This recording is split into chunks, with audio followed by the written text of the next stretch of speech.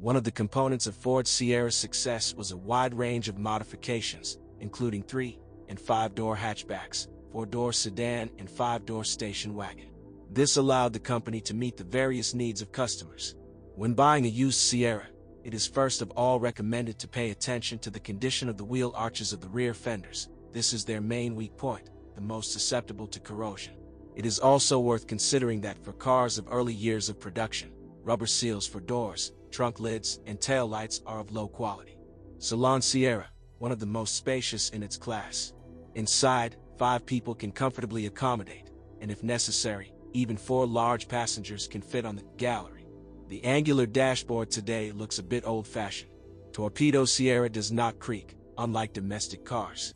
Engine Ford Sierra was aggregated with 13 petrol engines and two diesel engines. Given the venerable age of the model, the resource of most power units is already running out, so when buying a car, ask if the former owner did a major overhaul or if this expensive procedure will fall on your shoulders. Of the gasoline engines, we can recommend 2.0 liter, the golden mean between good dynamics and acceptable fuel consumption.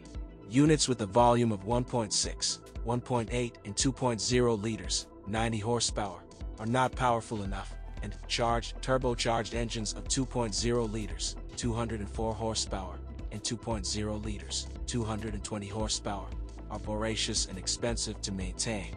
As for diesel engines, we advise you to opt for a less powerful and more reliable 2.3-liter unit, since the 1.8-liter turbo diesel has a not entirely successful design of the timing belt drive guard, which causes dirt and moisture to get on the rollers, contributing to their premature failure. In carburetor versions, the cold start membrane often breaks, and in injection versions, the airflow meter fails. Transmission. Cars of the first years of production were equipped with four-speed manual gearboxes and three-speed automatic ones. Later, a five-speed mechanics and a four-speed automatic were installed. Mechanical gearboxes are more reliable, although they still show leaks in the shank seals and the speedometer drive. On older machines, the flexible coupling of the drive shaft fails. Most Sierras are equipped with classic rear-wheel drive, but all-wheel drive versions of the XR4x4 are very rare here. It is advisable to refuse to buy all-wheel drive vehicles, since in the case of a transmission repair, not only serious financial costs are possible, but also problems with finding the right spare parts.